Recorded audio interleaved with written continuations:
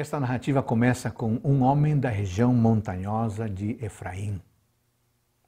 Ele fundou um santuário com um de seus filhos, servindo como sacerdote, diante de um ídolo que havia sido derretido com dinheiro roubado.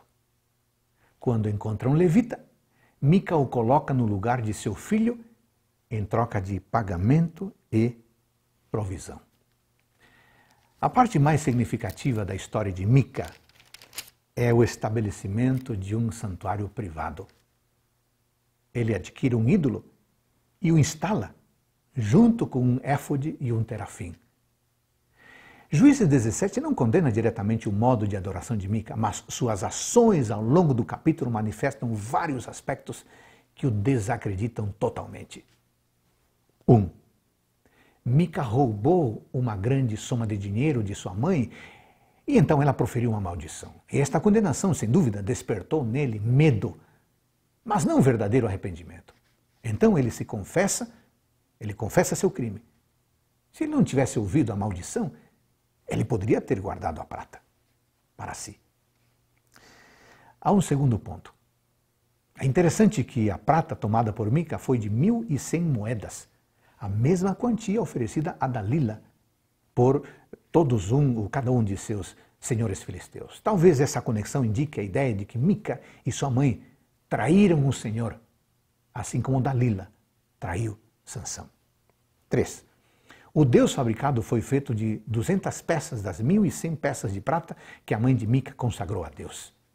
Além disso, ele estava indo contra os Dez Mandamentos, onde o Senhor proíbe estritamente a fabricação ou adoração de ídolos. Está lá em Êxodo capítulo 20, versículos 4 a 6. Número 4. Mica era autoridade para a sua forma de adoração. Sem autoridade ou sem autorização divina, ele instituiu seu filho como sacerdote e fez do levita seu, sacerdote, porque ele quis. 5.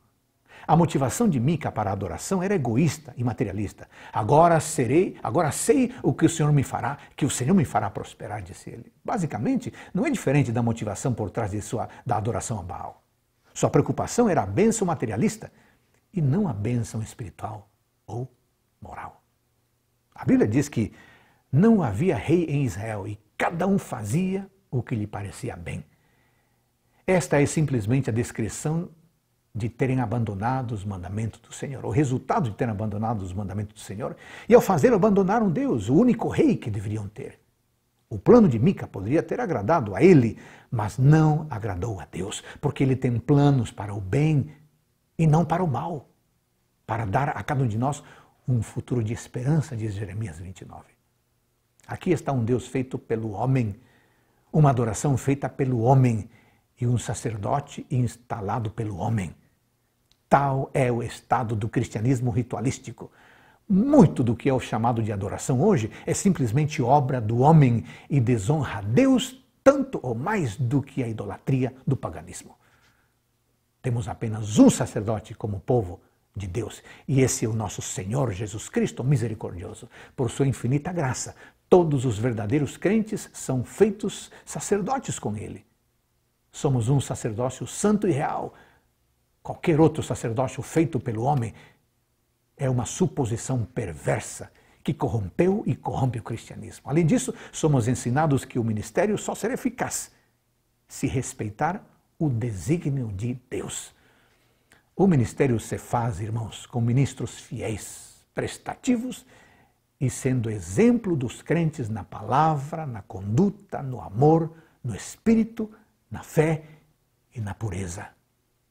Que pela graça do Pai, do Pai, participemos de um ministério puro, conduzido pelo único grande sumo sacerdote, Jesus Cristo. Um ótimo dia para você. Amém.